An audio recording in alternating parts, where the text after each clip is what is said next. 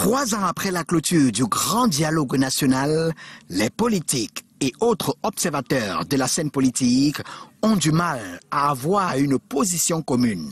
Les proches du parti au pouvoir voient en la rencontre pour régler les problèmes du nord-ouest et du sud-ouest une aubaine. On a pu avoir euh, la construction des DDR.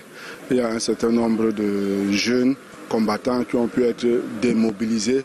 Il y a quelques infrastructures qui ont été construites et euh, dans le cadre de DDR, il y a des formations qui ont quand même été faites euh, au profit de ces jeunes combattants. Nos ont été entendus.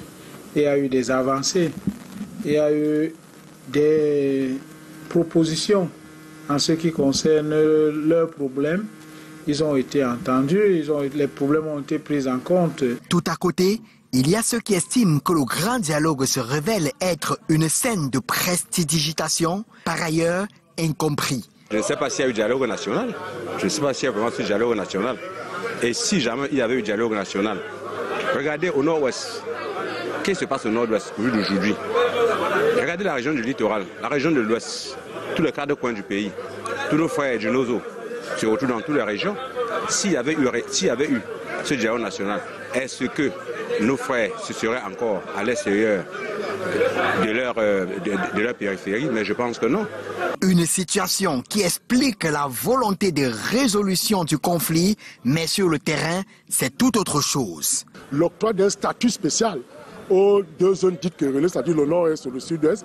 Et à l'issue de, ce de, de, cette euh, mesure institutionnelle, nous avons eu une mesure juridique à travers le Code général sur les collectivités territoriales décentralisées où il fallait renforcer donc la décentralisation.